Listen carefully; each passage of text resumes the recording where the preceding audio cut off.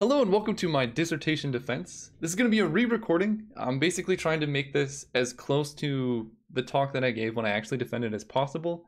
There were a lot of people who wanted to see the talk but couldn't make it uh, when I gave it live, and a lot of people on YouTube and stuff wanted to just see this. And I, I wanted a personal record in case I ever wanted to go back and see what I what my talk looked like so many years ago. So uh, the title of my talk is Computational Methods for Optical Design.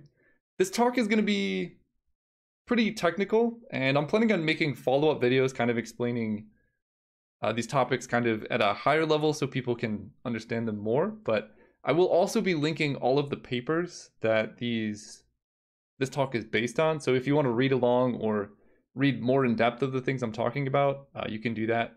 And if you can't get access to a paper, email me and I'll send it to you. So yeah, let's get into it. So the outline of my talk is you can see why uh, the talk is kind of generic. There's so many different things I worked on here. So we're going to start with an introduction to geometric optics, explaining uh, what the assumptions I made there, give an overview of what stuff I'm working on in general. And then within geometric optics, there are two main branches. There's illumination design and imaging design. So I'm going to start with illumination design, talk about some ray mapping methods I did, and you know what illumination design is. And then we're going to get into imaging design, talk about the generalized design problem, um, at the very end, we're going to get into some automated optimization and machine learning techniques. This talk roughly follows chronologically how I was introduced to these problems and what I worked on in real time. So this is kind of an interesting view of like the trajectory that I saw over the last five years, which is pretty exciting. Uh, it's going to be based on my publications almost directly. So I published five. The sixth one is about to be published. Uh, probably when you see this on YouTube, it will be published. Um, but I, I, just submitted the like final revisions a couple days ago, and then there's two more that I'm currently writing that I talk about a little bit at the end, and those will also probably be published whenever you see this. So uh, you can look for those too. Uh, there are two patents that I also got while working on this, but they're not really talked about in this presentation. So let's get into it. So light is an emergent phenomena that shows up as the result of Maxwell's equation. So that's what I'm showing on the left here, these four differential equations. Um, ho hopefully many of you are familiar with these. Um, they're a set of differential equations that govern the properties of electric and magnetic fields and the relationship between the two. So, uh, you know, you can see there's four of them, and the last two are kind of what we're focusing on here. Um, we can see in equation three that this dB dt represents a changing magnetic field. And this is capable of generating an electric field perpendicular to the magnetic field because it's the cross product. Um, and then in equation four, a changing electric field generates a magnetic field. And this reciprocal behavior produces a self-sustaining transfer of energy that originates from, um, from equation one, you can see electric field is generated from a charge density, this rho term. And in the fourth equation, the curl of B is generated by J, which is a current. So if you have a changing charge density, or a changing current over time, then you're going to get an electric and magnetic field that are changing over time, um, which then starts propagating new electric and magnetic fields. And you get this kind of wave behavior that takes energy and kind of sends it through space. And so this is what we call an electromagnetic wave. And I have a graph of this on the right. So the oscillation of electric and magnetic fields happen perpendicular to the propagation direction of um, this wave. And a small specific subset of wavelengths is what we refer to as light. So the, the stuff we can see is what we call light. Geometric optics, um, this is a very good description of light and it's very general, but it's kind of too complicated for many everyday situations. Um, these equations are kind of tedious. Their solutions take a lot of time. And so if you're working on a system or designing for something that is much larger than the oscillations of electric and magnetic field would have any impact to, you can kind of assume that these don't have too much of an impact on your final results, and you just look at the propagation direction of light. So rather than dealing with all of this complex stuff, we just treat light as a ray, and that makes the equation much, much simpler. So we have our ray origin, O. Um, I use boldface to denote vectors. Um, so O is a three-dimensional vector that denotes where the ray starts. D is the direction of the ray, and then T is just a constant along the direction of the ray basically saying how far you've gone. So in free space, you know, we have this ray equation and it basically says an incoming ray is going to keep going straight. So here's a, a graph of an interface between two media. um, as denoted by their index of refraction N1 and N2. And if both of those are the same, you can think of this just like as light going through air.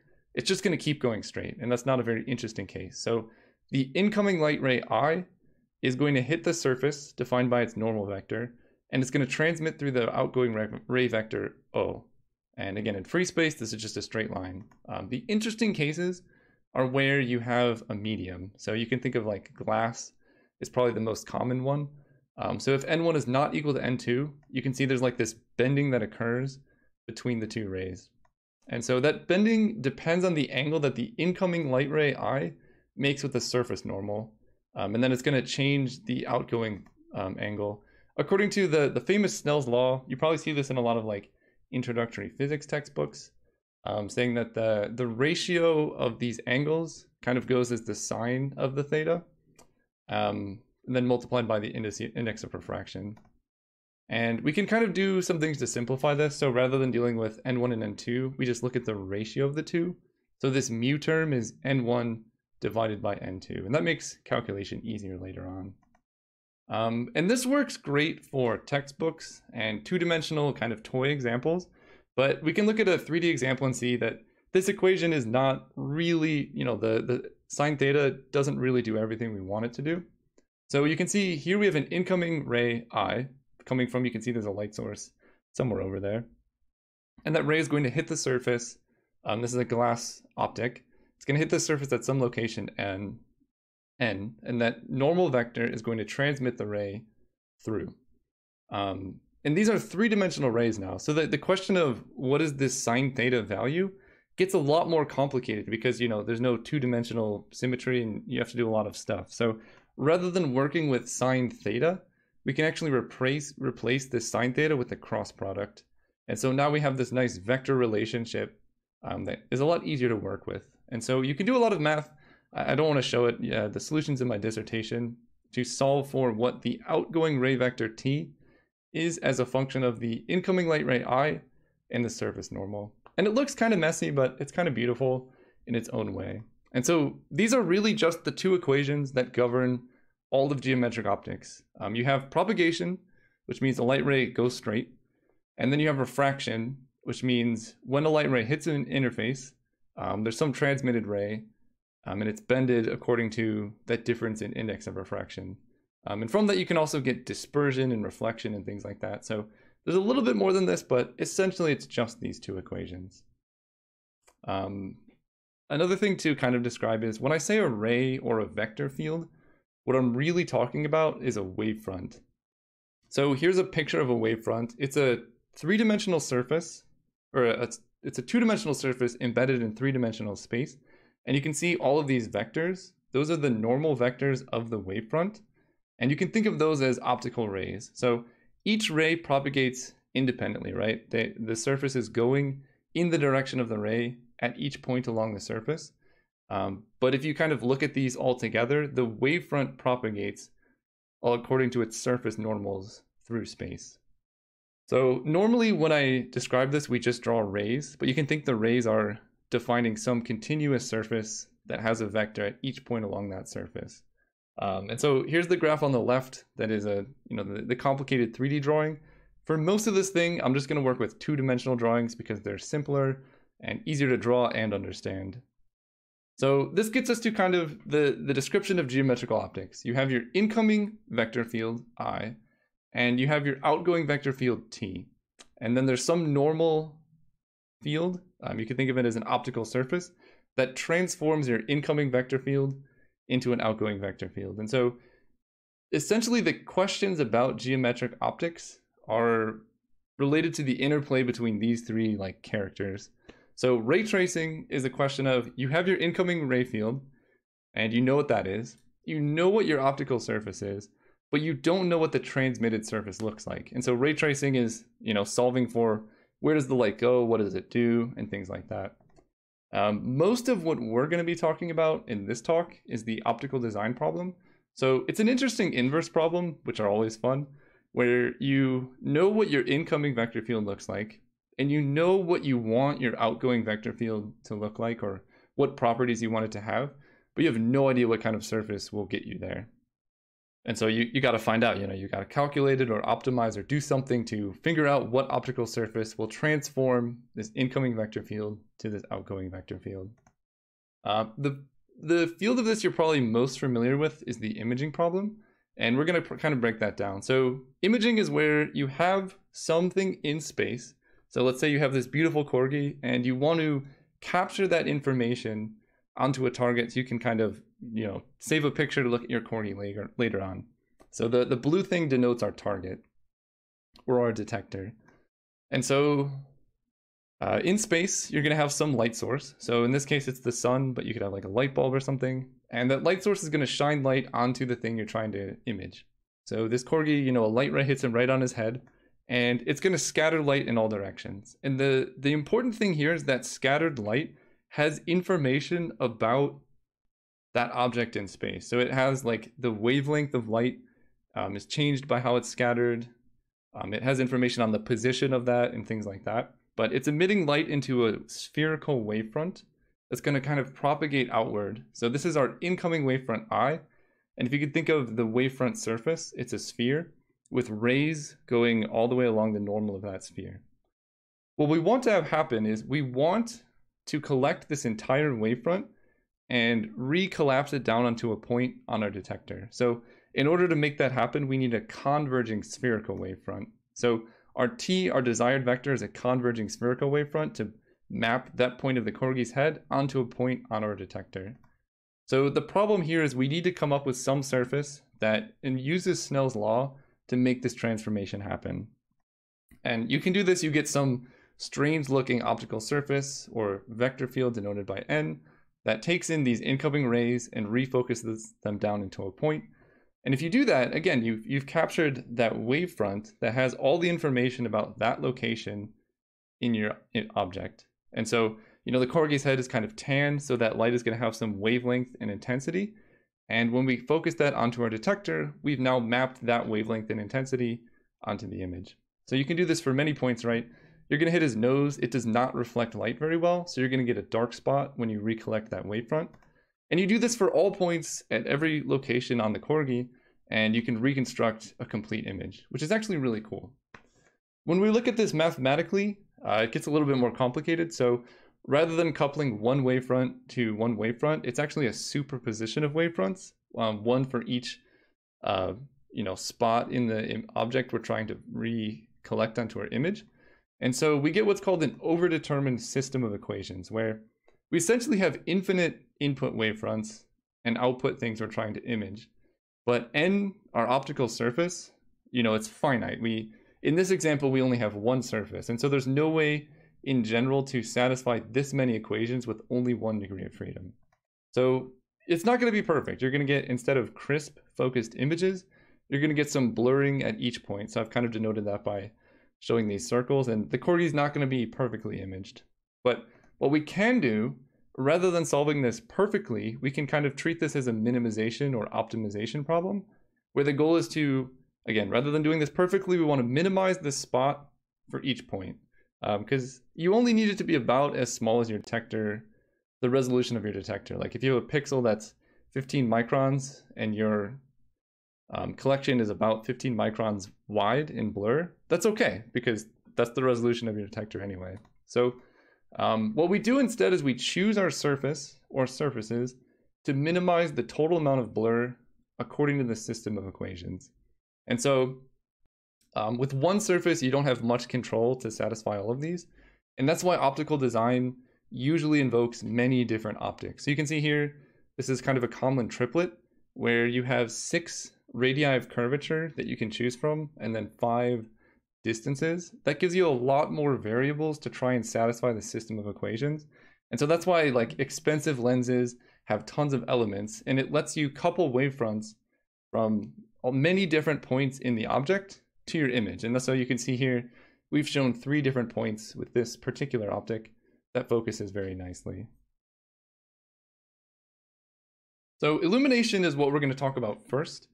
And it's very similar to what we just talked about, but also very different. So in the illumination problem, you have some light source that doesn't do what you want it to do. Um, like an LED has some cosine theta fall off, so you get kind of this like lighter regions at the edges. Uh, the best example I can think of is like car headlights. If you're driving on the road and they have their headlamp and it's shining into your eyes, that's not what you want, right? You want the light on the road. So the problem here is you add a lens to redirect that light to give it some uh, desirable properties. In this talk, most of my examples are just going to be designing for a uniform rectangle or square target because it's very easy to evaluate and demonstrate, but just know in general, you can kind of design for really whatever you want. Um, the, the headlight example is kind of a pretty good example too. So in this problem, we have I, you know, our light source is emitting some vector field or wavefront, but now we're looking at the intensity distribution of that light. So there's some, you know, amount of optical power associated with each light ray. So we're going to call this E, and that's a function of the angle, right? You can have more power at the center. It depends on what your light source is and things like that. And what we want to do is essentially take this optical power, you know, density in space and map it to, in this example, it's a uniform square target. So the intensity or the irradiance on the target at each point is the same. And so this problem is kind of interesting where essentially in this case, the, the source is very small. So you only are coupling one wavefront. So there's one equation one unknown. So fundamentally it is doable. But the problem is you it's a very, very hard solution mathematically. The surfaces you have to make to actually enforce this mapping are very complicated. And so we're still very much underway finding out methods of how to work through this. And one of the methods that I worked on and I'm very familiar with is optimal transport. And so optimal transport started when someone was looking out at a pile of dirt um, and was asking the question, actually many piles of dirt, and they're asking the question, how can I redistribute this dirt to flatten it out, right? If you want to like make it a nice flat plane, how can I do that while doing the least amount of work possible? So the desert, you know, sand is similar to dirt. Um, and you can take, the question is similar. If you could take sand from this picture and move it so that you get just a nice flat plane of sand, how could you do this without having to like move sand and then move it again? Um, so it's it's kind of an interesting mathematical problem. And the formulation, it's it's a bit heavy, but we'll, we'll go through it graphically. Um, you have two domains. So you have omega 0 on the left and omega 1 on the right. Um, we, we measure pile of sand as a positive radon measure on this subset.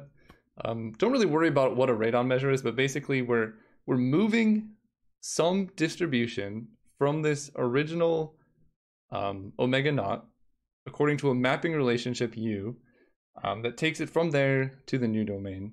Um, probably this graphic will be more clear. So if you can think of like moving sand from the desert to itself, I've shown these domains kind of overlapped. And then the mapping relationship is shown by this vector. So you're taking a point xy from the original domain and you're moving it to x prime y prime in the new domain. Um, and there's some cost associated with moving that sand that distance. So the simplest way you could do it, um, this function just shows, is just the distance you move, right? That, that was the simplest cost function you can have. So the amount of total work that you have to do to move all the sand from the original domain to the new domain.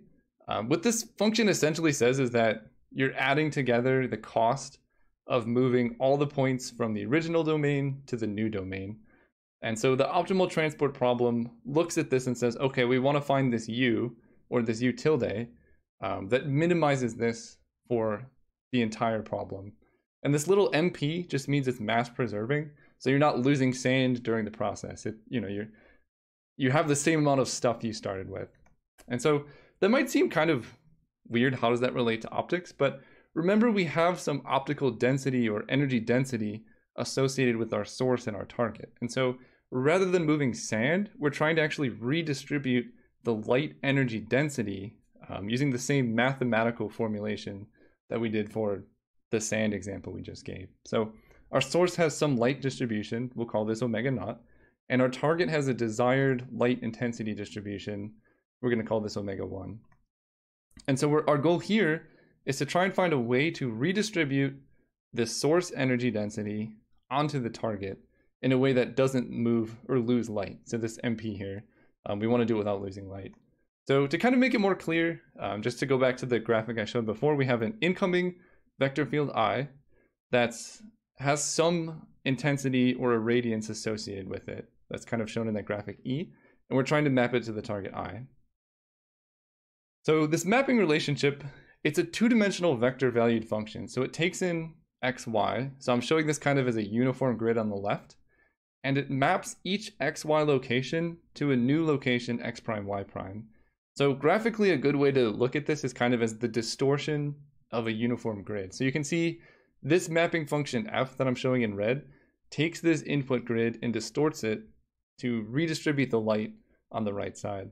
And a good way to think of like what this is doing is you have a light, lot of light in the center. So what you need to do in the mapping function is spread this light out to get this light from the center into these two peaks. And so if you're spreading that light out, you're going to be stretching this grid. And that's why you see that the, the squares are very, very large between these two peaks because you had to spread that light out between the two. And so when calculating an optimal transport function, we're looking to essentially determine what this f is that does this mapping. Um, I don't think math is necessarily the place for presentations, so you can check my papers if you want the full derivation, but you can just know um, there's many ways to do it, and the, the most simple way here is you use some energy conservation equation where you sample the intensity distribution of your source and your target on a grid, and then you essentially just solve this integral equation to find where an energy conservation transport between the two um, is, and then you get the xy components. Um, we'll get into, I'm more interested in the applications than the actual math, but if you're interested in the math, it'll be in the description. Um, and so we have this mapping relationship, and now we need to make an optical surface that actually transport or redistributes this light. And so here's the Snell's law equation. It's slightly different because um, this is the form that I used uh, when I wrote this paper. But essentially the problem comes down to we need to choose this normal vector n so that at every target point, this outgoing ray vector O is pointed towards the target point. So hopefully to break it down in a way that it's more simple, um, we have this graphic that I've been showing a lot. We have the ideal target distribution, and we're going to calculate some discrete target points here shown in black from this ray mapping equation. Um, our goal here is then to choose this normal field so that each one of these incoming light rays hits the normal field and then is redirected onto the specific target point we've selected. And then once you have this normal field, you build a surface that has that normal field. And so the goal is then you have an optical surface that takes light rays in and bends them towards the targets that will enforce the mapping relationship so you can have the desired light intensity distribution on your target. Um, so this is where I started. That's kind of all the background for um, when I started working on this. And the, the first question is, where do you define this input domain? Because as I showed in, I think this figure, I can go back to it. Uh, here, you need to sample your light source at some point and calculate an integral to determine this mapping relationship. But the location of this mapping, this place you sample it from, is actually very important. So um, the, the place I started is you just pick a plane right above your light source before your actual optical surface and calculate it from there. And this works pretty well. So both of these were designed to be a uniform square. Um, on the left is for an on-axis design where you have a lot of symmetries. I think that's actually this optical surface I'm showing. There's a lot of symmetry and it's a very flat surface. So uh, the performance is quite good because your sampling surface is planar and your optical surface is almost flat. So there, there's no disconnect between the two. When you start moving off axis, uh, this is supposed to be a uniform square, but you can see it's nowhere near that. So this is the problem I first looked into. And my first idea for solving this is rather than calculating the mapping relationship from a flat plane, why not calculate the irradiance distribution on the optical surface and then do a mapping calculation from there. Um, so the equation on the left is the how you calculate the irradiance on a surface.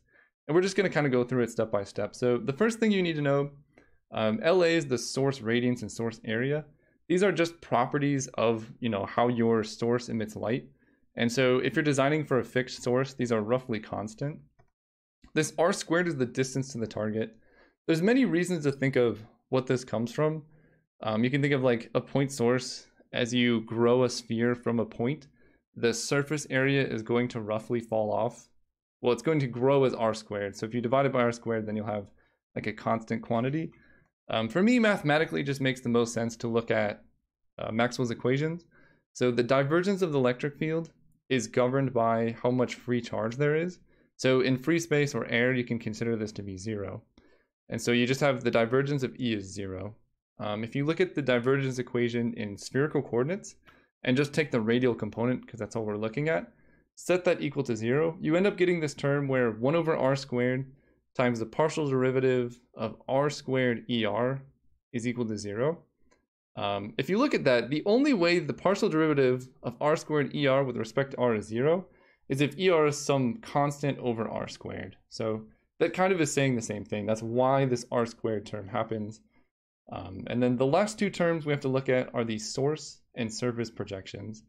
And these are kind of interesting. So we're going to do a, a, short overview of projection. Um, so you, you have some line of length L. And then you take this line and you tilt it by some angle, theta.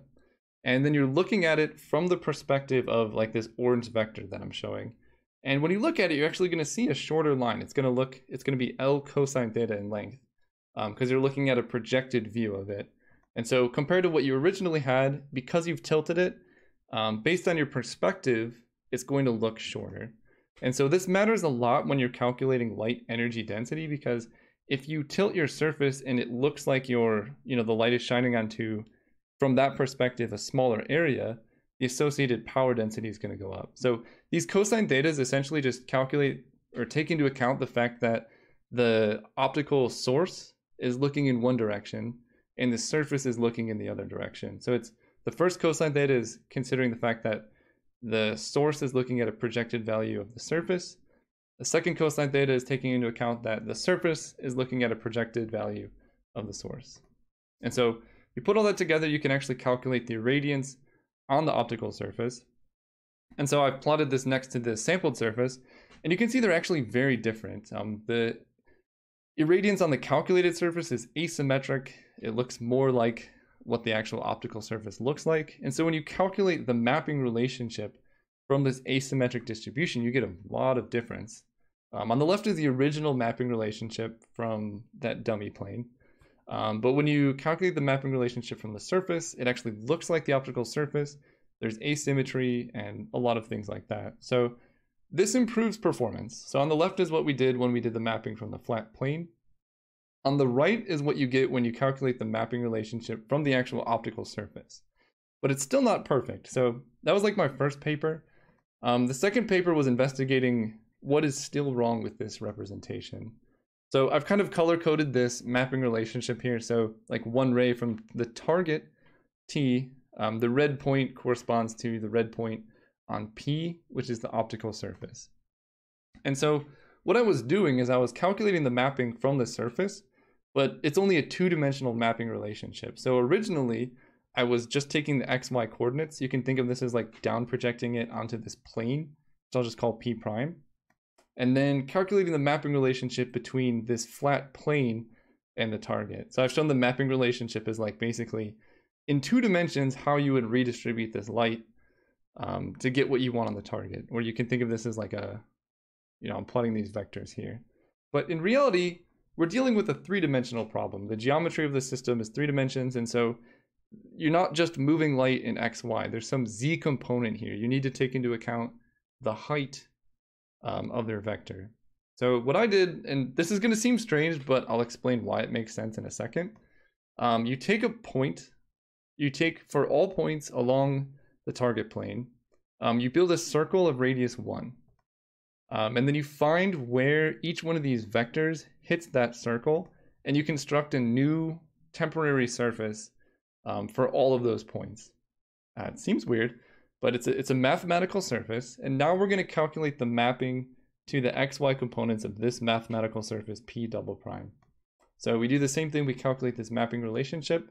And so let's see what this does. We, we take some vector v and we aim this vector according to the x and y components of our mapping relationship, but we give it a magnitude of one. So it's a unit vector according to this mapping relationship.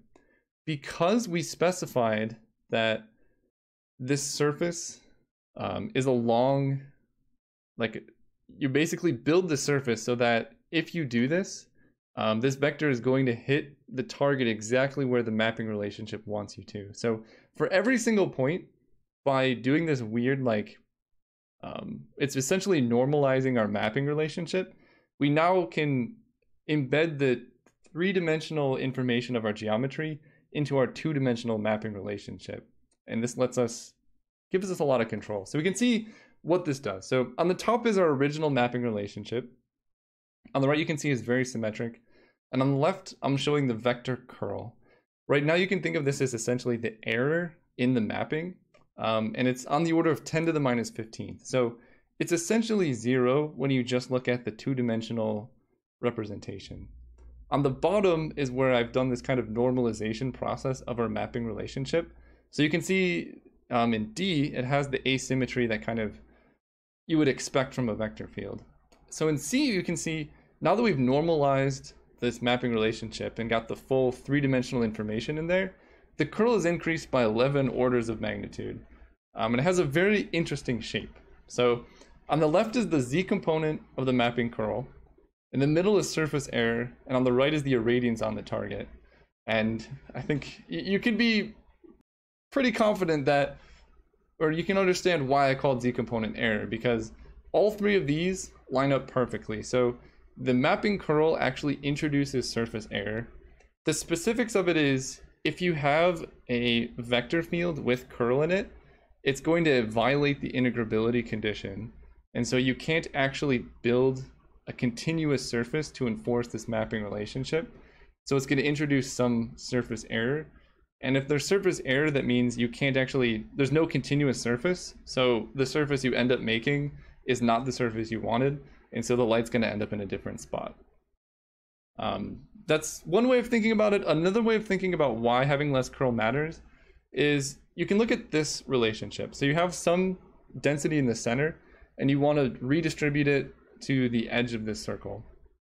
The most efficient way possible to do this is just having a vector field that is radially outward.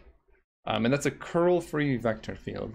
Anything else, any amount of curl in your vector field is going to, going to require your vectors to overlap slightly, and that's going to increase the distance that each one of these points has to travel. So it is not the optimal transport solution. It is inefficient.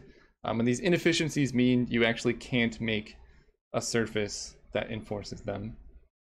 So let's get rid of it. Uh, how do we do that? Well, we can decompose any vector field into a curl and diver divergence free term. So on the left is curl free, which is kind of what we said, it's just kind of pointing outward. And what we want to do, um, it's been shown in math, you can read um, these references below, that the optimal transport mapping relationship is the gradient of a convex function. Essentially, it is curl free. So we want to get rid of all of that divergence. And how do we do that? Well, uh, this paper, it's a fantastic paper. I strongly recommend reading it. Um, they, they came up with this method, and you can read how they got it. Um, but essentially what we do is we take our normalized vector field, this bold u, and we plug it into this equation to reduce the curl of our vector field iteratively. I have a flow diagram to show how I do it. So uh, this little perpendicular sign just means a two-dimensional rotation. So you kind of like swap x and y coordinates. Um, the div is taking the divergence. And then this like little inverse triangle means a solution to Poisson's equation. So we take the divergence of our vector field, we rotate it, then we solve Poisson's equation. Um, then, you know, we have to re-rotate it again and take the gradient.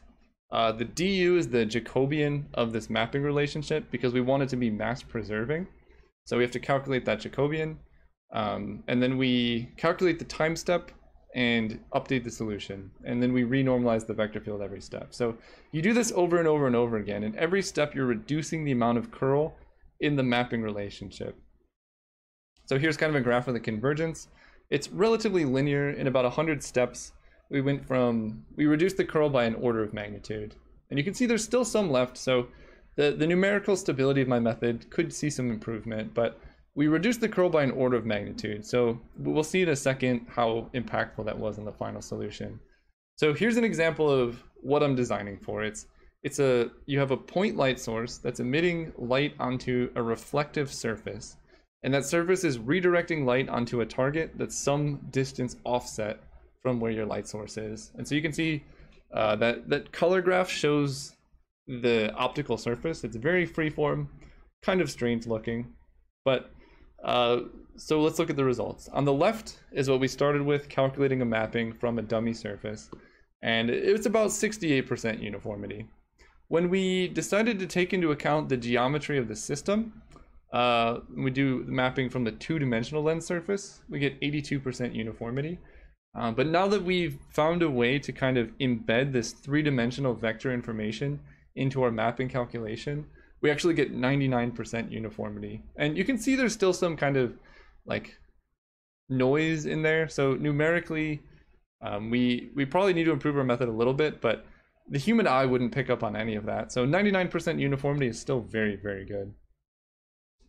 Uh, the next question I started looking at is, um, how do you tilt your, your source? So I think in this diagram, I have my light source and it's aimed at the reflector, which hits the target. But it, the, the light source is tilted kind of to an arbitrary angle, right? Um, I could tilt it any other way and still be able to build a mapping relationship that transmits light. So kind of showing this with a refractive surface. Um, so this is like a, you can think of this as a glass optic. When you're designing for a target that is not directly beneath or directly in front of your light source, there's a lot of freedom you have in how you can aim the initial light source. So you can aim it straight down. That's one option. Uh, maybe the most intuitive option is aim your light source so that the center ray points at the center of the target or anywhere in between. And I, I really had no idea how to design for any of this. So I came up with my own method. So I decided to design for refractive efficiency. And essentially what's happening here is when light ray, when a light ray hits uh, the interface between two medium, there's a transmitted ray and there's a reflected ray. And so that reflected ray, if you're trying to send light through, is just light that's lost.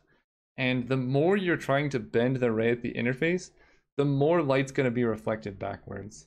Now, this is where we kind of have to deviate from the geometric approximation a little bit because the nature of this reflection depends on the specific orientation of the electric and magnetic field oscillations with respect to how you're hitting the surface.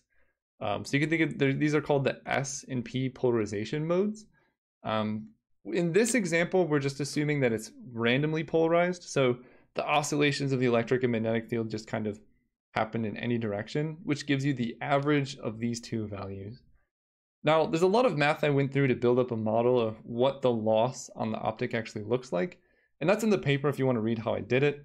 Um, the equation is there on the bottom left. It's pretty messy, but what it ends up being is you calculate the power of each ray, um, and you multiply that by the reflectance value of the optic, and then you just divide by the total power. And you can calculate this as a function of the tilt angle, actually. And so that's the equation on the right. The predicted value is what I got from my equation, and then I actually built surfaces and calculated them. And there's actually a very good deal of alignment between my model and reality. And what it gives us is just, you know, this nice function. We can look at the graph and find the minima to calculate the optimal tilt. So in this case, around 37 degrees um, gives us the optimal tilt and it reduces the loss by a substantial amount. Now here's a kind of a graphic of what I'm doing here. Here's a freeform optical surface on the right, kind of looks like an egg, and it's taking light from this source, redirecting it to be a uniform square um, on the target, and then there's some offset. So that offset is how far away from the target I am, and the target has some width. We'll get to that, you know, why those matter in a second. But here's a graph of why you're losing light and where it's coming from. So when you don't tilt your source at all, um, the, the color bar denotes how much light you're losing at each point along the surface, and it's normalized across all of them. So when you don't tilt it at all, there's a ton of light lost on the left side. And if we look at this figure, it kind of makes sense. Um, if you have your light source not tilted at all, there's a bunch of light that's emitted onto the left side that you have to redirect really far to hit the target. And all of that bending is going to induce a lot of reflection and loss of light. So not tilting at all is bad.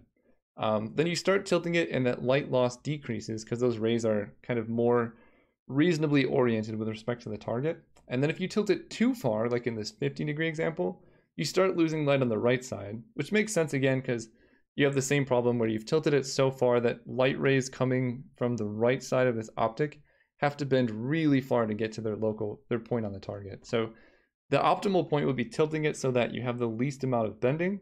And as we calculated, and you can kind of see here, it's around 37 degrees. So I took that and I did a parametric analysis over many different target offsets and width to find the optimal tilt values. So the x look the x coordinate on this graph on the left is this lateral offset from the target. So if we go back here, that's essentially how far you are from the center of the target. And the y-axis is the target width or how wide this distribution is you're trying to design for. So it makes sense the farther away you are, um, the color denotes the tilt you can see on the color bar on the right. So the farther away you are, the bigger this offset, the more you have to tilt it. That just makes sense. The interesting thing is actually how much more efficient you can make your optic just by tilting it the proper way. So you can see here the efficiency gain is up to 150% just from tilting your lens. That's kind of crazy. Um, but that's compared to just not tilting it at all. Um, the intuitive solution and what I thought would be optimal when I went into this is, well, what if you just aim your light source at the center of the target? And you can see on the left, so I'm plotting the difference between the optimal tilt and aiming at the center. Um, if the target is very small, so the bottom of this graph, um, the difference is almost zero. So if your target's like a point and you're trying to design for it, it makes sense that you have to aim at the center because the target's not very big. Um, but as the target gets bigger, it turns out that the optimal tilt is actually not aimed at the center of the target. And on the right side, that's the efficiency gain. You can actually still get about a 25% performance boost by um, tilting according to this optimal calculated value rather than just blindly, blindly aiming at the center, which is very substantial.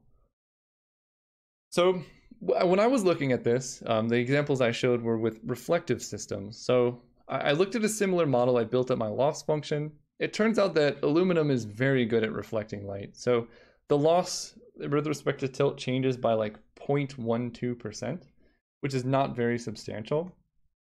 So I had to come up with a new like criteria by which to design my system. And I came up with uh, trying to design not obstructed optics. So you can think of this as like if you take a light bulb and shine it right into a mirror, the light that the mirror reflects is going to be blocked by the light bulb because it's in front of the mirror. And so that's what this graphic on the left is showing that our source, which is this black dot, is emitting light which is hitting the, the optical surface, and then it's reflecting that light down to the target T. And so you get this like bundle of light between these two vectors O, which is the the optical source is actually within that bundle. So you're going to shine light and then it's going to hit your source. You're going to get like a source shaped hole of light on your target. So what we want to do is have a not obstructed target where our optical source is actually outside of this ray bundle. So we can shine light onto the surface, have it reflect, hit the target, and the source doesn't get in the way. And so we construct this vector v, which essentially calculates how far we are outside of this ray bundle. And we want to, you know, designed for some tolerance. So we pick a distance d that we are outside of that ray bundle and solve for it. Um, the math is pretty messy. Again, you can check the paper in the description if you want to see how I get there, but you end up getting the arc cosine of this value d over all this vector nonsense. Um, don't worry about that too much. What you end up getting is essentially this equation that gives you your distance from source as a function of tilt angle. And then if you want like four millimeters of clearance between your ray bundle and your light source, like if you have packaging or mounting or something like that, um, then you can go into this graph, say if you want four millimeters of clearance in the X direction, it's going to be about 30 degree tilt. Um, that will be optimal. So that's actually the end of my illumination stuff. And now we're going to get into imaging and talking about the design problem. Okay, so let's get into it. The design problem, this is going to be kind of an overview of the abstract design problem as I see it. So you have these two mathematical spaces, which is the design parameter space and the performance parameter space. And I'm going to go through each one. So the design parameter space is comprised of all of the potential degrees of freedoms you have to make a design. Um, so in this case, we're designing a triplet. So you have six radii of curvature, five separations. That gives you an 11 dimensional design space. And you can think of the act of actually making a design as just putting a point in this 11 dimensional design space. So each point is its own unique design. And then you can move around in this space to kind of scan through all possible designs. So it's, it's just a mathematical space. This 11 dimensional space, each one of these points has some performance value associated with it. So in this example, I'm showing a five dimensional performance space. And the interesting thing here is we get to choose what the performance parameters are and what the space looks like. So um, some things you could have is like image quality, tolerances, like you want to be able to actually make the thing, weights or how heavy it is, how big it is, how much it costs, and you can keep adding stuff and use whatever you want to evaluate it. But the thing is that there, these evaluation functions take in points from this 11 dimensional design space and output a value for performance. So it's just a function that maps the design parameter space, which we'll call x, to the performance parameter space. So the evaluation is just, you know, going y equals f of x. Um, so the, the design problem is looking at this function, and the problem is it's not invertible. So what does this mean for us? Well, we know what we want, right? Let's say we want to make a design that's very cheap, works perfectly, thermally stable, um, it's really tiny and all that good stuff. So we know what we want. And so the idea is we could just take this performance parameter space and follow the mapping back, get the designs that actually would make a system that has these performance properties, and we're done. But this is not an invertible function, so there's no way to go backwards. So the design problem, we're kind of stuck. Um, and so this graph, I think, really captures what the design problem is and the challenges associated with it, where you can do an evaluation of the forward step. Like if you have an optical system, you can just do ray tracing and see the performance. But so you can go from left to right, but there's no way to, given performance, find an optical system. So it's a pretty interesting and challenging inverse problem. Um, the first and probably the most popular way people overcome this is optimization. And what you do to do is you make a linear approximation around some starting point. So you pick a starting point and you build up a linear function based on the gradient at that point. And you take a tiny step in the direction of the gradient that seems like it's going to improve performance. So if you keep taking these tiny steps, um, hopefully performance is getting better and better and better because that's the direction you're going. And eventually you get to a point where performance is good enough and you've completed your design. So kind of graphing this on two, two dimensions should be easier to follow here. You have the design parameters x, um, and then at each design parameter, there's a performance parameter value. And so optimization, if you start at the point at the top, you keep optimizing down, you get to the local minima. And I say local minima because that's the problem here. This gradient function only gives you information of the local landscape around where you started. So you can optimize this system, you know, you optimize, you get to a point, and then you're at the minimum. So the gradient is actually zero, so it doesn't tell you where to go. So you think you're done, but you know, if we're plotting it like this, we can actually see there's a better region out here that we can't get to because we started too far away. So the next thing I was looking at is, well, what if we tried many different starting points? So we have all these dots and we want to optimize all of them simultaneously. So we optimize the ones on the left, they converge to this local minima. We optimize the one on the right. It converges now to a new different local minima. So this is the first attempt at kind of a global approximation or a global optimization where rather than just finding the local minima through optimization and being happy, we're trying to scan the entire space to find the best possible system we can design. So this is going to be kind of a, a toy example just to get you introduced to what I'm going to be doing. So we're looking at three mirror systems. And these K terms are the conic constant and phi is the, the optical power. And I'm showing this here as kind of unfolded because drawing this diagram as if the mirrors, you know, the mirrors are reflecting light. But if you just kind of show it unfolded, you can draw it as if they're passing light through. It's just easier to show here.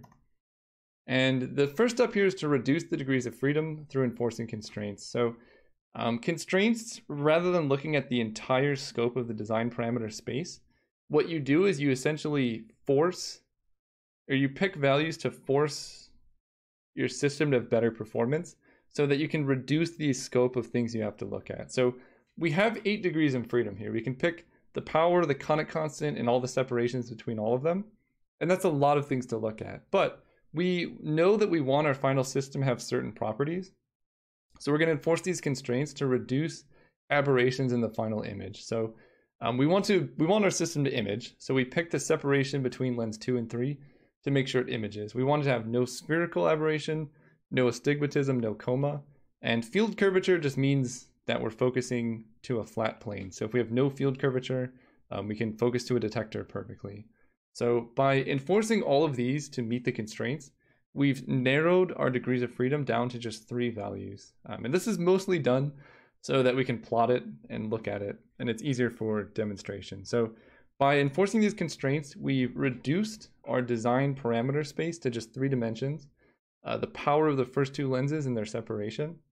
And for this example, we're just gonna have a one-dimensional performance space, which is just the RMS spot size of our final image, which if you remember when I first showed the imaging problem, this is like how big those circles are um, when you're trying to image the corgi. So you're, you're trying to shrink all of them for every point.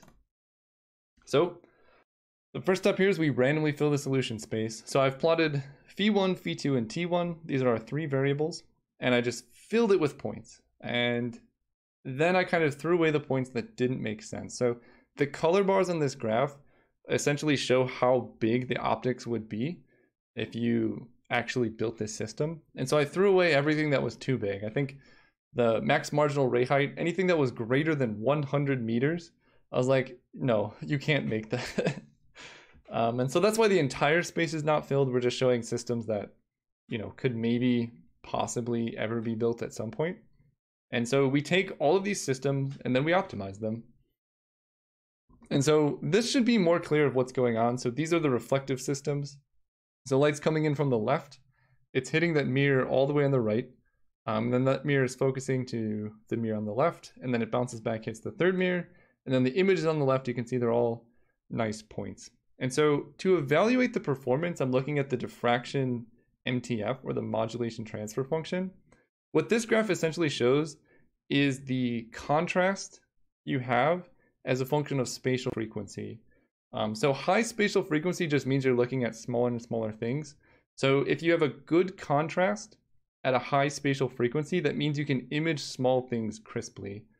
And so the ideal case is like a linear function straight down because it depends on how big of an optic you have as to how much or how high of spatial frequency you can image. So if it's diffraction limited, then our optics are able to create a crisp image as well as they could be as limited by how big of an optic it is. Um, th there's a lot to explain here, so if you're not familiar with this, you can just look up diffraction efficiency and things like that. But just know that the ideal case is kind of just a line, uh, kind of like this one. This one looks pretty good. So here's another mirror system. So light comes in from the left, hits that tiny mirror, reflects to that first uh, sphere, then that reflects across to the right sphere and then forces an image. And you're probably noticing something here. These aren't physically possible because the image detector is blocking light, same with the mirror is blocking light. And that's because our performance parameter space only cared about the performance of the system and not the geometry. We'll get to that in a little bit. So here's some more examples. This one, this is what diffraction limited looks like. It's just a straight line basically. This one was my favorite. So this is a fisheye lens. So it can accept a 165 degree field of view, which is really big. And to do that, it uses distortion. So that graph on the bottom left shows, rather than imaging to a flat plane or like a square, it kind of images to this kind of warped looking shape you can see, which is not amazing, but it's the best thing you can do to focus something that large onto a plane. Because you're taking a sphere and mapping it to a plane. And that's mathematically very complicated to do. But uh, you can't make these, so we'll get that to that in a second. So abstractly, what we just did is we generated a bunch of points um, that I'm showing here. Each one of those points, then we optimize to find the local minima that have good um, performance. But as we said before, the geometry doesn't make sense. Like this system you just have light rays being blocked all over the place and it's really, really large. Like you would never be able to make that. So the next step is, okay, let's optimize for performance and geometry. And the most common way to do this is to tilt the lenses so that they're not all in a row. So now you can kind of redirect the light down and around so you can move the lenses outside of the ray path so you can actually build it. The problem with doing this is you now break symmetry and the design process gets much harder and you need much more I guess freeform surfaces to have good imaging properties. So you can see on the right, I took something that had very good performance and then I tilted it off axis so now the diffraction MTF is nowhere near that flat line. So this performance would be, it would have, it would have really bad imaging quality. So here's what the design problem looks like in this case. We have a 36 dimensional design space, um, which I'll get to in a second. Um, you have the power, tilt, and separation you had before, but because we're dealing with a much more complicated asymmetric design, you have to introduce Zernike coefficients to describe your surfaces. And the Zernike polynomials, or Zernike coefficients, are it's a set of orthonormal polynomials on the unit circle. And so what it is is you just have all of these nice simple functions. And what you do is you add them together to get complex general surfaces.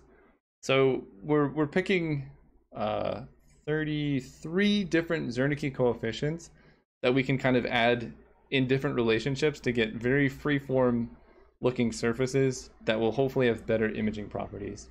And then we have uh, two-dimensional performance space. Now we want the optic to focus well, and we want to make sure that geometrically, like it's physically possible to make. So this is now our new design problem. And the temptation when you're doing a design like this, in software, there's an optimizer, and you just want to trust it. So you just, you know, you input your system, you set everything as variable, and you just click the optimize button and see what happens. Uh, well, unfortunately, this doesn't have exactly the effect you would want. So um, we started with the system on the left, we optimized everything, and we got the system on the right. So the performance improved. So we went from this nasty looking diffraction MTF to a diffraction limited system. But a lot of things changed. So the system got way bigger. Um, you can see that third mirror is actually blocking the light coming in. So you couldn't actually make this. Um, the F number increased, which means you can see the spatial frequency on the bottom here. Originally, diffraction limited meant we were able to image 800 cycles per millimeter, and now it's only 350. So that places a theoretical limit on how small of things we can image using this um, lens.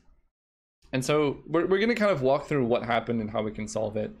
And to do that, I'm highlighting two variables. So we have this theta, which is the tilt of the second lens, and then t is the separation between that second lens and the third lens. So you can think of by choosing these two values, you're kind of aiming this third lens in space, um, or positioning it in space. So like if you increase t, you can move lens 3 outside of the ray path. And then at each one of these theta and t values, there's some performance associated with it. You can think of this like optical performance. Um, this isn't real data, but it's for a demonstration. So let's say we started with some point, this is our initial system, and then we told the optimizer to optimize our system. So it's going to climb to the peak. Uh, it's trying to find the best performance. But as we saw, this system is not possible to design because that third mirror is blocking the light ray. So even though, you know, mathematically the optimizer saw it as something that can work, it's within the realm of impossible designs. So what we want to do is rather than finding the best design, what we want is the best possible design or the best one we could actually make. So we would like our optimizer rather than finding the peak, find the, the highest point within the region of possible spaces. One way to do this is to explicitly constrain variables. So you can think of this as like going through mathematically and defining the distance between each surface and each other surface and making sure that that distance is greater than um, the width of the ray bundle at that location. And it, it gets really really complicated and you'd have to do this every single time you did a design. I don't really know how to do that in general. Um, the other way to do this is limit the variables or don't optimize everything at once so as a designer i can look at this and say okay maybe i can optimize the surface shapes but i don't let the surfaces tilt while i'm optimizing them because that can completely change the geometry in an unstable way and then you get, you know, the system we saw before. So let's look at what effect this might have on our optimization process. So we start at the same. And now we're just going to optimize along T1. So it's just a one-dimensional optimization instead of two. It's going to climb the peak, which is not very high. And then we're going to optimize along theta 1 to get to this, you know, our second optimization process. So by not changing anything except for the variables our optimize our optimizer can work with, we've actually been able to dramatically change the path that the optimization process takes. And so in two dimensions, you know, you don't have much control over the trajectory, but you can think of right now we have a 36 dimensional design space with the problem we're working on. So the control you have over where what the optimizer is going to go through by turning variables on and off is actually extremely high. Um, and we'll get to that in a second. The goal of this whole process is to come up with a method that can design optics automatically so that, you know, I as a user don't have to do anything and the computer can kind of figure out where the optimal path is um, through the optimizer to get to the best performance. So we want to represent this process with a data structure so we can work on it, optimize it, and improve it. So um, on off is pretty easily represented with a binary string. So we can think of each one of these design variables. Um, if it's if we're varying it during the process, it's going to be one, and if it's not being varied, it's going to be a zero and fixed. And so during each optimization step, we read off this binary string, choose which variables we allow to change, we show them in red, and we do an optimization. And then if you have many, many different optimization sub-processes, um, you can describe this by a very long string. So the first optimization step, you grab all these points in yellow, run an optimization. The second step, you grab all the points in blue, do an optimization. And so here's a graph or a graphic showing all, or the, that in full. So Step one, we do an optimization and we get a new looking optical system for step two. So you can see like the spacing of the lenses has changed and the, the radii of curvature have changed. And so we grab a new set of variables, do an optimization again, and keep repeating that process until we're satisfied with the performance. Um, all these graphics are better explained in the paper, so if you're interested, I recommend reading it. It's a lot more clear than I can explain in a presentation. Um, but now we have a way to basically describe these trajectories that the optimizer is going through. But again, we want the computer to be able to handle this on its own. We want it to be able to improve performance over time. So the way I saw this is, well, the binary strings look very much like DNA. In fact, the original genetic optimization algorithms were based on binary strings. So why not use a genetic algorithm to improve these optimization sequences, which it's like a meta optimization because we're we're optimizing our optimization sequence. So there's a lot of resources on genetic algorithms, but very quickly, a genetic algorithm is an optimization procedure based on the evolutionary process that gave us the, the incredible complexity and diversity of life that we see around us. Um, it's actually very simple in principle, and this is one of the really cool examples of emergent behavior where many tiny steps produce this extremely complicated result that is kind of beyond our wildest imagination. Um, and we see that nature, but in our model, even if our model is very simple, we can still get very complicated results. So step one of this process is selection. So what this means is you evaluate the performance of all the members in your population. So you you build up a bunch of binary sequences like the one shown above. You design optics following these maps and you find the ones that have the highest final performance.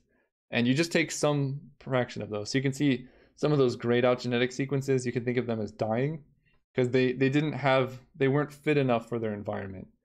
Um, the second step is crossover. So um, in real life, you know, you get sharing of genetic sequences between parents to generate kids. Um, this is the same way you just take random chunks of DNA from each one of these um, survived members of the population, and you use that to generate offspring. So you can kind of refill the entire population base. And then the final step is mutation, because with just selection and crossover, um, you're only sharing relative genetic information. So if you have enough inbreeding or things like that, you can get stagnant.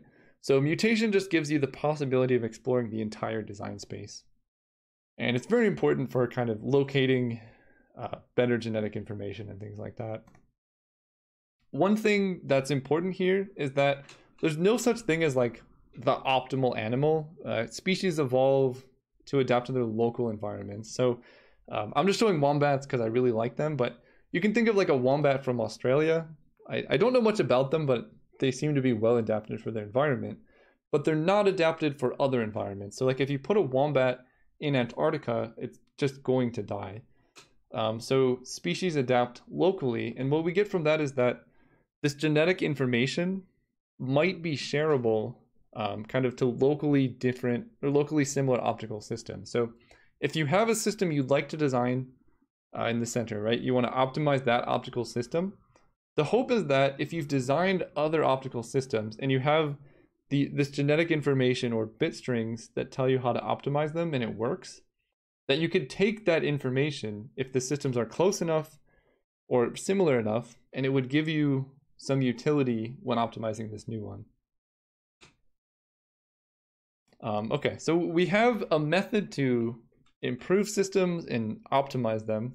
But again, I want this to be fully automated. So I don't even want to have to pick what the starting points are. So to generate a database to train all of this stuff with, I'm just going to generate them randomly. So on the left is I've picked random radii of curvature, random separations, and random tilts for all of my lenses. You can see the optical performance is very bad. It's nowhere near focusing to points. Um, and to make sure or to check the geometry, because a lot of these are kind of wacky looking systems, uh, I built a ray tracer that just looks at the boundaries. And so I can do polygonal operations to see if the system self-intersects or not.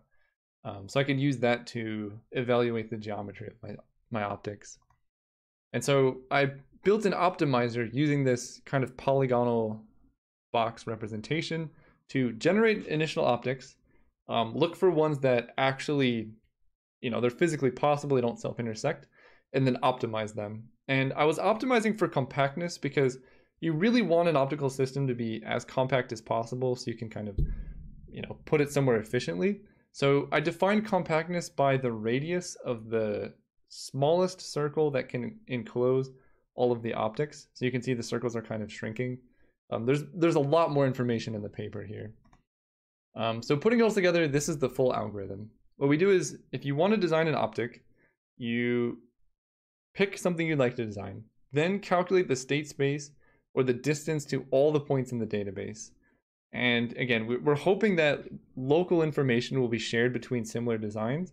So we're going to grab the 30 most similar um, optical systems gene map or the these binary strings into our gene pool. And then we're going to run some number of generations of this genetic algorithm to improve the performance.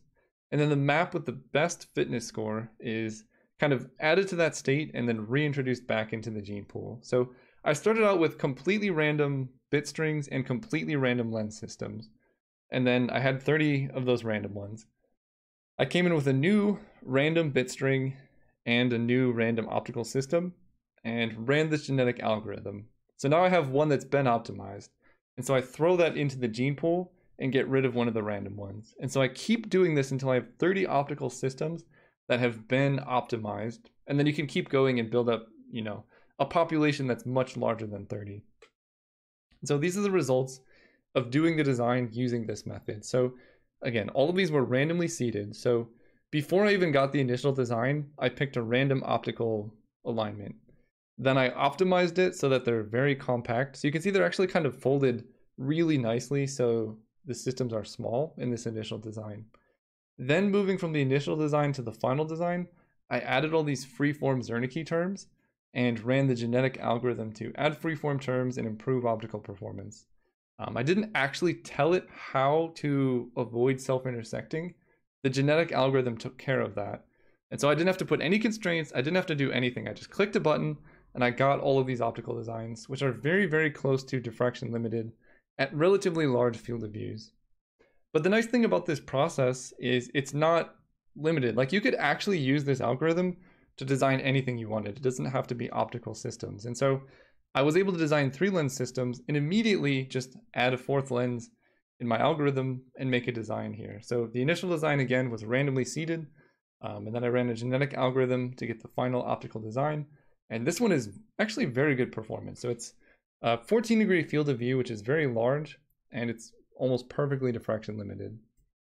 So that's that's kind of ending what I did with that talk, but there's a bit more future stuff you can do. Um, this bit sequence, these zeros and ones, can represent more than just variables. Um, you can put something like user actions in there, like increasing or de decreasing something, um, adding or deleting lenses are very possible.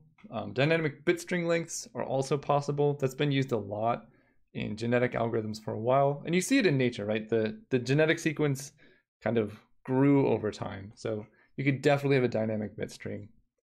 And then rather than an explicit distance-based gene pool selection, once this database is large enough, you could then train an AI to learn this sparse variable selection for you. So rather than having to run this genetic algorithm over and over, you, you have some AI that approximates a function that would give you the optimal optimization sequence. Okay, so let's put this all together, or putting this all together. So what have we been doing? In the first example, we had a three-dimensional design space and a one-dimensional performance space. And so we took these points, the initial points, optimized them to get the local minima. We had all these optimized points. In the second example, we had a 36 dimensional design space and a two dimensional performance space. And here we're looking at the performance and the geometry or system size. And what we did in this case, um, so now you can see there's two dimensions to our performance space is we again generated a bunch of random designs. So here's the random starting points. And then we optimize each one of these to have the smallest geometry possible. So these are now the compact designs. Um, we took these designs and then kind of rotated along to the second dimension of this space, looked at performance. So now these are the inputs to our second optimization, and we optimize these to have better optical performance to get our final results. So it's kind of a two-step optimization process. In the general case, we have, again, the correspondence between design parameters and performance parameters. And what we do is we pick random starting points, so all these discrete points in the design space, and find out where, what their performance is. And then we do an optimization on these design parameters to improve performance, right? So hopefully, rather than mapping randomly in the performance parameter space, they'll, they'll kind of have good performance. And so through this process, we found a mapping between two subspaces of these two mathematical regions, where we now have the good design parameters and good performance parameters. We can think of this correspondence as data, right? Um, this is actually the only way I can think of where you can kind of cheat this relationship, where you normally can't go backwards from the performance parameter space. But if you've made a design already um, and you have that stored as data, um, these rays can be traced both ways. So you can just take that data point and now you have your design. And it, you know, it's not that useful because if you have a new design you want to make that you haven't made before, um, this discrete data representation doesn't actually give you information on how to go backwards. But uh, what I'm hoping to do, or what I did do, is create a generalized function approximator. So we have all of this data, and if you get enough data, you can actually start to kind of fine tune a continuous functional representation of this inverse relationship. So now if we have a new design and we've had enough data to train this function approximator, we can actually just trace it back through this continuous function and solve the design problem in a much easier way. So uh, this function approximator, we're going to use an artificial neural network. And there's a lot here, but artificial neural networks are just generalized function approximators. That's all they are. And we, when you train a neural network, you're just strengthening this input-output relationship that you're trying to design it for. Um, you're just approximating some function. Um, so let, us get to an example. So we're, we're going to design some illumination mirrors. And these mirrors we're designing are free-form reflective mirrors. And they're off-axis. So you can see the, the source is kind of offset from where the target is. And the target is going to be a uniform square illumination pattern. Um, this is a pretty complex design, so I'm going to be using these spherical harmonics to represent my optical surface. And the spherical harmonics, just like the Zernike polynomials, it's an orthonormal basis, and this time on the unit sphere. So you get all these kind of simple polynomial functions on the sphere, but you add them together to describe a very complex surface. So here's an example where they took a bunch of these independent functions, added them together, and they actually used it to describe electrical i think electrical potential on the human brain so they're really general you can describe any function on the unit sphere with them so we use them here and so this gives us a 123 dimensional design space where we have the the alpha and beta tilts, which is just the x and y targeting of our um, optic. And then we have the 121 spherical harmonic terms because we actually had to go up to 14th order polynomials to describe the surface. That's how freeform they were. And we're doing something kind of interesting here. For a performance space, we just want to design optics that create a uniform square at a specified offset in x and y. So our performance parameter space is just delta x and delta y, which essentially says how far offset our target is. So we I built a lot of stuff, and I'll say how I did it in just a second, um, to, to design these. So here's our database. It's a discrete database, so it's not completely filled. And the grayscale um, pictures are showing the actual light intensity distribution or irradiance distribution on the target. And those are shown in linear scale, but the human eye perceives light uh, as a logarithm. So these would look like almost perfect rectangles to you as a human if you saw them. And then the color bar denotes the percentage deviation from a perfect square uh, pattern. So we're about like 3.6, around 4% at the worst, which is pretty good. To generate this database, there's kind of a lot you need to know, but ray tracing spherical harmonic surfaces is, I, I wrote a ray tracer to speed up this optimization process to design these optics. So the spherical harmonics, there's a lot you need to know about them, and I recommend reading about them a lot. They're really cool. Um, but they're they're a function on the unit sphere. So you can think of them as basically putting a radius at each angular location. So you have f of theta phi. At each theta phi, there's some scalar value that says how far out the surface is. Um, mathematically, this is a star-shaped surface, which is a it has a unique property. So they're not convex. Convex means any line traced through it will hit it at most twice. So you can see it's hitting the surface four times, but it's convex about a point. So if you take a line from this center point and draw it outward, it's actually going to hit the surface exactly one time. Not, not just one time, it will hit it one time. And so this is really, really nice for something we'll get to in a second where your surface has exactly one point per angular location if it's defined around your point source. So if you want to do ray tracing, there's five things you have to do. You have to determine your source emission, find where the source rays hit the target, evaluate the surface normals on the tar on your surface, um, compute the refracted ray directions, and then find where you hit the target. For this talk, I don't have time to go through all of them. We're just going to look at these three and how they relate to the spherical harmonics. So the problem with finding the intersection locations is you have your source ray, so we have this line, and the question is where does this ray actually hit the lens?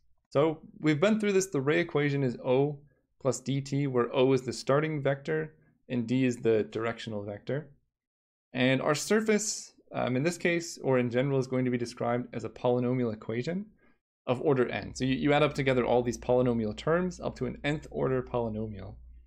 And the intersection means you basically just take this ray equation, substitute it into the surface equation. Um, the ray equation is linear, so we end up finding the roots of an nth order polynomial equation which is very, very complicated to do. In fact, it's been proven that for polynomial equations higher than fourth order, there is no analytic solution in general. So this is a very complicated and time-consuming process that can go wrong. There's many different roots. Um, so this is the hardest part of the whole problem. But we're dealing with the spherical harmonics, which are a star-shaped surface. And we already said there is, by definition, a unique intersection at each angular location. So by defining our surface, right, each ray we're tracing from the center point, we're aiming our rays using theta and phi. So that, that determines a ray direction.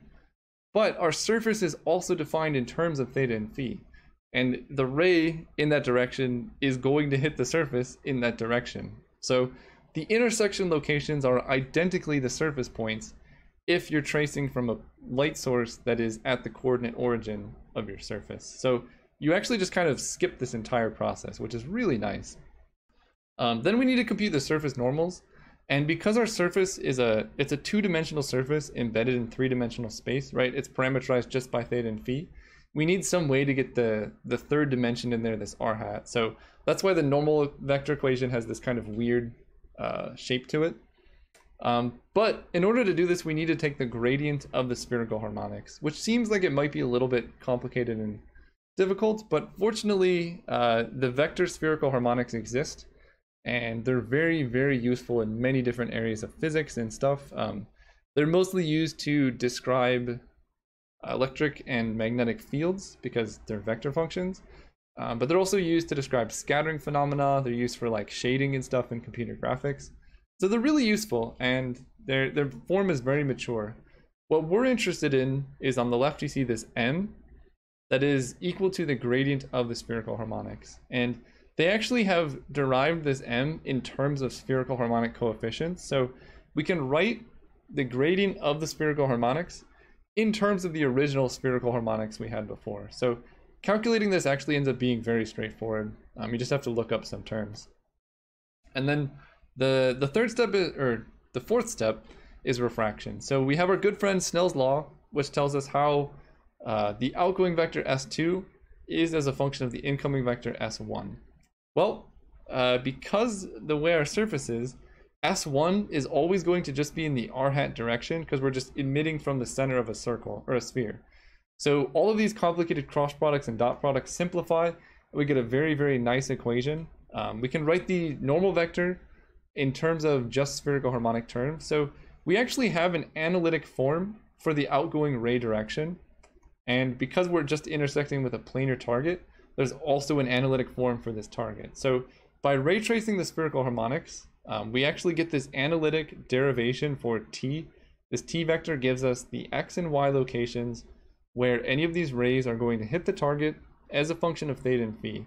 So we're mapping the income the it's a mapping from theta and phi, which is where each vector is aimed, to the target point. And so you're going to get, you know, a, a, nice distribution of points on your target. Um, and that's almost what we want. We have X, Y locations in space. What we want is optical density on the target or the power per unit area. Well, each ray has some power associated with it. So what we can do is um, divide up our target into a bunch of bins, count the number of rays that hit each bin. And so the rays have some power. So we get the total number of power in each bin. And then each bin has some area. So we just divide by the area of the bin. So we get the power per unit area at every point on the target. And so this gives us a way to map from, you know, this kind of discrete ray bundle representation to um, power per unit area, which is what we want, what we're trying to design for. And so by doing all of this, um, you know, taking advantage of the spherical harmonic symmetry, we can do ray tracing really, really quickly. In fact, um, we have this analytic equation for the target point. So it's not even really ray tracing in the traditional sense. We're just plugging stuff into an analytic equation to get these target points. So if we're trying to do an optimization process of our light distribution, we can do it really, really fast. So I wrote this in MATLAB, which is obviously not the fastest code, but that's one optimization process to design an optic. So we went from uh, the starting distribution was nowhere near perfect. There's very high peaking and stuff. Um, I did a about a three second, I don't know, you, you could see how fast that process was. And it was almost perfectly uniform rectangle. Um, it's still not great, this is just a demo, but that's how I generated this database is just designing optics over and over again. Um, I had to obviously optimize these for more than four seconds because the performance is much better, but I generated a database using that. So that's the database that we were talking about like 10 minutes ago. And we're trying to, again, design a neural network to find a mapping between the performance parameters, this delta x, delta y, and all of these design parameters. So the goal here is you just input the offset you would like to have a target designed for, and it'll just give you a surface that will enforce that, or that will design that. So I'm just kind of showing these colors that I've been showing the whole time, showing that we're doing the reverse mapping that we had before. And so this neural network, I trained it and it actually learned a continuous representation of the discrete data. So the left is the database, and on the right is the neural network continuous representation of that data. So you can see um, the performance is almost identical to the database, but we, we can do it for every single point. And if you look at the grayscale color maps, they still look almost like perfect uh, squares. So the neural network did a good job. So let, let's look at more kind of interesting examples here. We're designing a refractive surface, and you can see why we needed so many spherical harmonics. That's a very strange looking shape. Um, and we're designing it for a uniform rectangle of a given height, width, and distance away. So essentially what we're trying to do here is, I guess we'll get to that in a second. The design problem here is a 36 dimensional design space. So because this problem has symmetry, we're not offset, um, we only need 36 spherical harmonics. So the, the surface shapes at least have some type of symmetry and they're easier to describe. And in this case, we have a three-dimensional performance space because we want to take care of the width, height, and distance to the target. So here's our neural network. And what we're trying to do is uh, determine a function where if you want to design an optic that will take in an LED and create a uniform rectangle of a given width, height, and distance away, this function will just take care of that. And that's so cool. Like you just have this function, you could just like put it on a phone or a web page. Someone can put in input what they want and it'll just give them a surface that will do that. Um, so I, I trained a neural network and it actually worked way better than I ever thought it would have. So you can see with this like place that I've highlighted, that's where I put data, that's where I trained the neural network to design stuff. But it actually was capable of making designs way outside of what I showed it. So in this graph, you can see I showed it how to design targets between a width of two and four meters. And it actually was able to design a tar uh, an optic to create a square target eight by eight meters with, um, you can see that's like maybe 20% deviation from a square. You can see by the the light pattern, it's not perfect, but it's still very close to a square. Um, and that would be a good like starting point to do future optimizations. And then on the right, you can see it actually learned to generalize distances too. So I trained it just for targets between one and 1.5 meters away. And now it can design for targets between 0.5 and 3 meters. And you might be wondering why this thing on the left has this shape. So like if you look at the edges, um, like the bottom right, for example, where you're designing for a target that's eight meters by with a height of one meter. Um, the reason performance there is so bad is because the aspect ratio is very extreme. So you're designing a target that's really, really narrowly wide and or really, really not tall, but very wide. And it, you know, those are very, very complicated surfaces. So because I'm only using 14th order spherical harmonics, there's no way to actually describe a surface that complicated and so you you lose light if you wanted to you can see there's actually like the aspect ratios i'm capable of designing for is roughly around an aspect ratio of three and then once you go beyond that it's too complex of a surface to describe so you would need higher order polynomials to actually design for that so that's ending the the most of my reasonable part of the talk. Um, this last bit is probably just outside of the scope of optics, but it's what I'm working on now and something that I'm very interested in. So uh, let's go back to the design problem. And we're trying to, again, find this subset of the design parameters that are good, where they have good performance. And I'm just going to claim, which is true, there's some function g, which maps points from the entire design parameter space to just the good regions. So we were kind of sampling this before um, when we did our optimization by optimizing each independent independent point. So G, we're sampling it by the trajectory we take when we optimize our point. And so what we would like to do is if we can find in general what this function G is, we can just generate systems within the desired performance parameters automatically, and then we've solved the design problem in a general sense.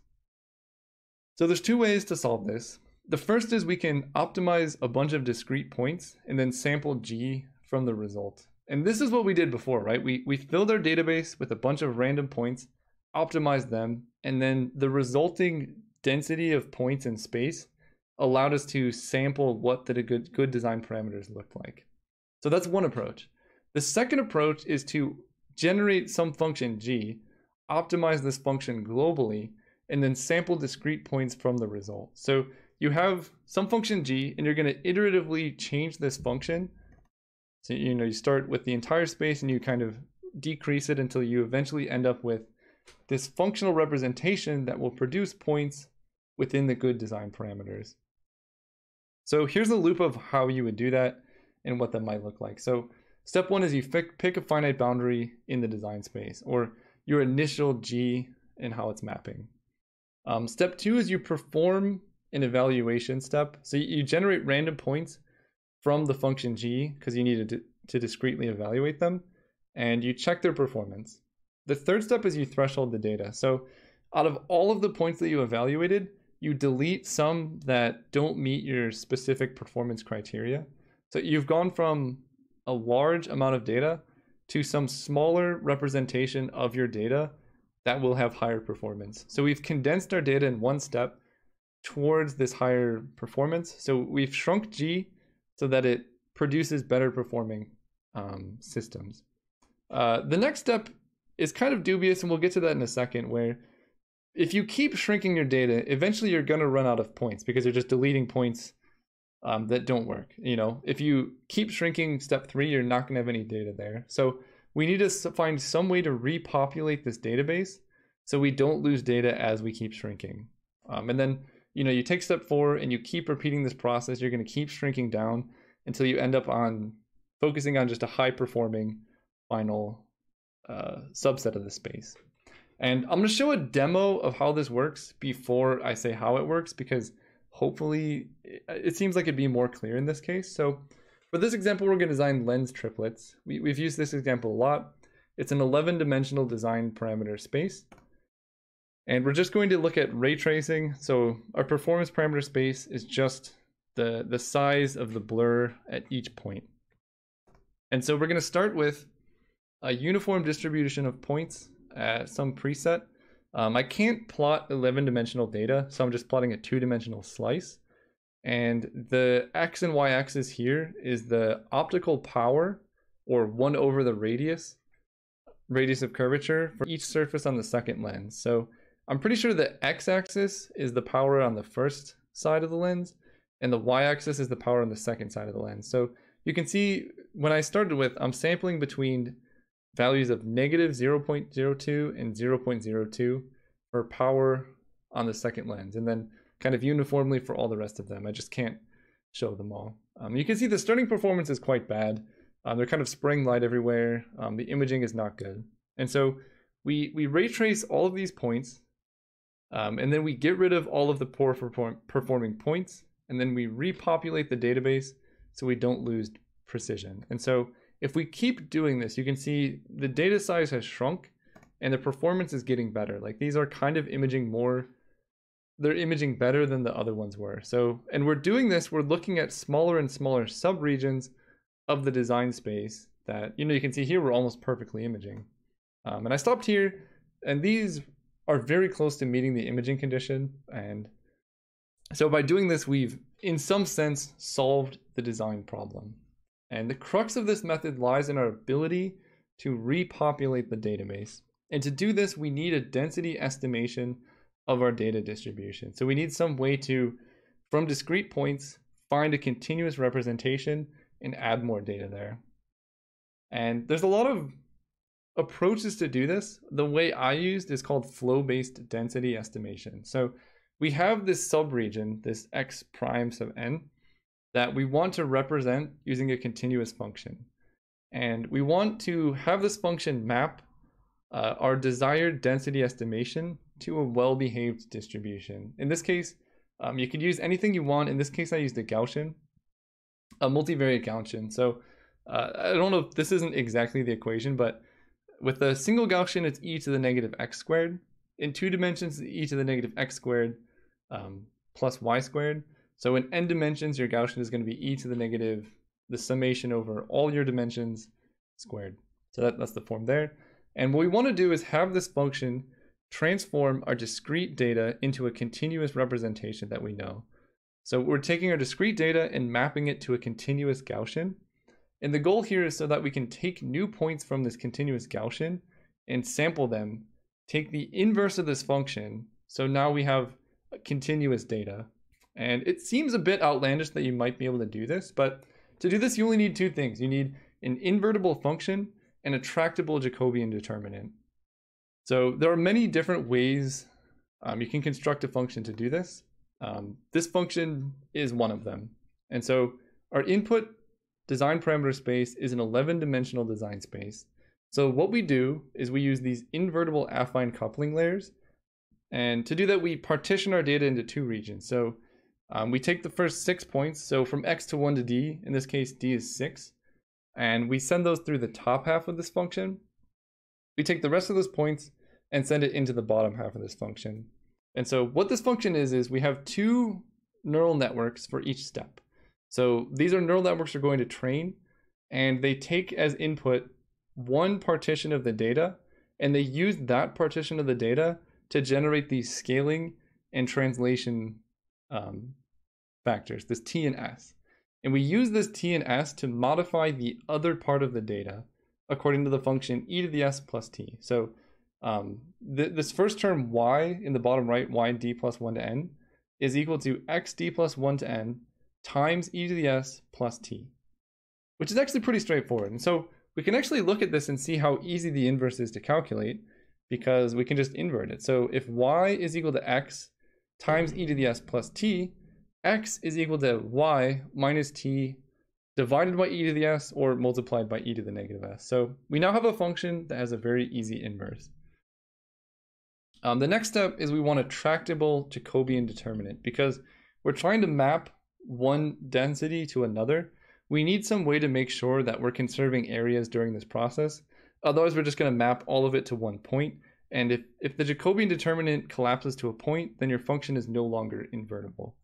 Um, so we want a Jacobian determinant that we can calculate easily to make sure it doesn't collapse to a point. And so if we look at the Jacobian matrix for this function, um, I, have kind of drawn it kind of fancy here, but it's a lower triangular Jacobian matrix because the x of 1 to d, if you look at just the neural network on the left, um, just that function, the x of 1 to d is unchanged completely during that process. So the Jacobian determinant is a two-dimensional matrix of the derivatives of the outputs with respect to the inputs. Well, if the output is equal to the input, um, the Jacobian matrix is going to just be ones along the diagonal. So I've shown here in the top left, this ID is the identity matrix um, that is D, it's like D by D identity matrix, basically saying you have ones along the diagonal up until D because you haven't changed that data at all. Um, and then the rest of the data from D plus 1 to N, um, y sub D plus 1 to the N with respect to x of D plus 1 to the N, um, the only thing there is e to the s because t is a constant. So if you take the derivative, you're just going to get e to the s along that diagonal. So we, we have a, a matrix. The top right is all zeros. And then the diagonal is ones until you get to d, and then it's e to the s. And it's a property of um, triangular matrices that their determinant is just the product along the diagonal. So the determinant of this matrix can be calculated actually very straightforwardly as just multiplying by multiplying all these e to the s terms together or just adding their exponents the same way. So now we have the two properties we want. It's invertible, it is a tractable Jacobian determinant, and we could just kind of stack a bunch of these layers together to get complicated behavior that we want because the determinant of the entire chain is the product of each individual determinant. So we take each one of these neural networks, calculate the determinant of that step, and then multiply them together for the entire chain. And the same thing for the inverse. We can invert each step in series to get the inverse of the entire function. So now we have a function that maps our desired density to a Gaussian.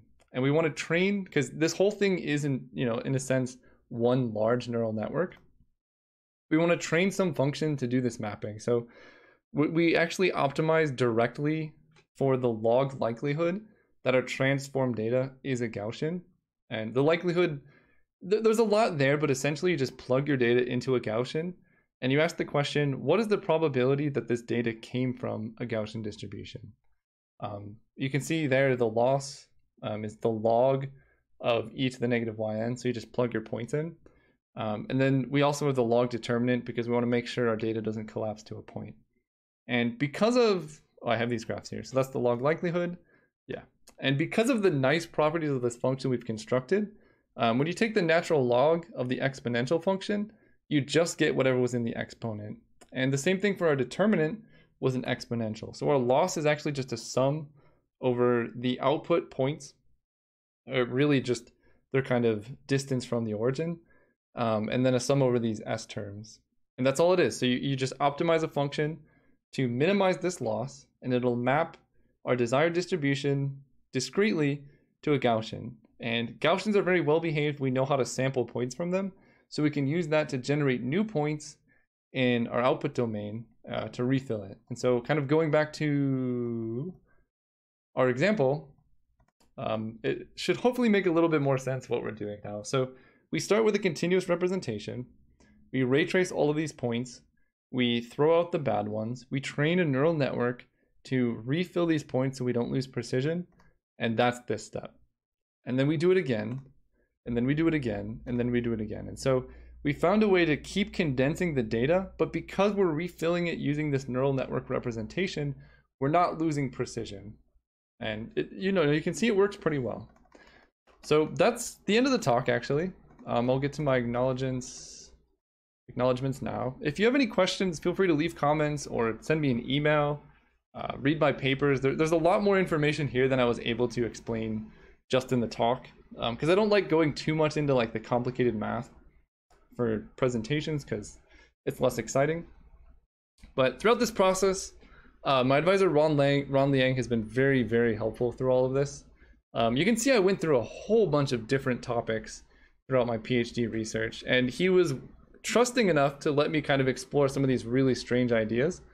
Um, but throughout the entire time, he was also he was knowledgeable enough to tell me, Caleb, that's probably a bad idea don't spend time looking into that. So he was really helpful in just focusing me on things that would potentially be good.